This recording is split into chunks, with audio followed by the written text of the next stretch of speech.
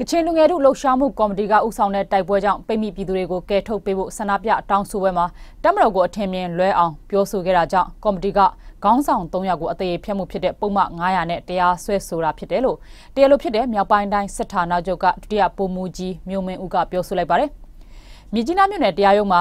ဒီကနေ့စတင်တဲ့ပထမအဦးဆုံးအကြိမ်ရုံးချင်းအပြီးမှာသတင်းတောက်တွေနဲ့တွေ့ဆုံစဉ်ပြောကြားခဲ့တာပါ။တရားလိုပြတက်သေးဘလောက်တင်သွင်းမယ်ဆိုတာကိုတော့ထုတ်ဖော်ပြောဆိုသွားတာမျိုးမရှိပါဘူး။ ဆွဆွဲခံရတဲ့သူဘက်ကဦးလန်းဆောင်နဲ့ဦးစောကျက်တို့သာလာရောက်ခဲ့ပြီးနောက်တစ်ယောက်ဖြစ်တဲ့ဒေါ်နန်းပူကတော့ဖားကန့်မြို့နယ်ကိုခီးလွန်နေတဲ့အတွက်ရောက်ခဲ့ခြင်းမရှိပါဘူး။ဒါအပြင်ဆွဆွဲခံရသူနှစ်ယောက်ကဒီကနေ့ရုံးချိန်မှာပဲအာမခံလျှောက်ထားခဲ့ရမှာအာမခံပေးလို့ရတဲ့ပုံမှာဖြစ်တဲ့အတွက်တရားရုံးကငွေကျပ်9သိန်းနဲ့အာမခံခွင့်ပြုခဲ့ပါတယ်။ဆွဆွဲခံရတဲ့သူတယောက်ဖြစ်တဲ့ကိုလန်းဆောင်ကတော့သူတို့ဆန္ဒထုတ်ဖော်တာတွေဟာဘယ်အဖွဲ့အစည်းကမှထိခိုက်နစ်နာစေဖို့ရည်ရွယ်တာမျိုးမပါပဲပြည်သူတွေအမြန်ဆုံးလွတ်မြောက်စေဖို့အတွက်သာ တောင်းဆိုခဲ့တာဖြစ်တယ်လို့ပြောဆိုကြပါရရှင်။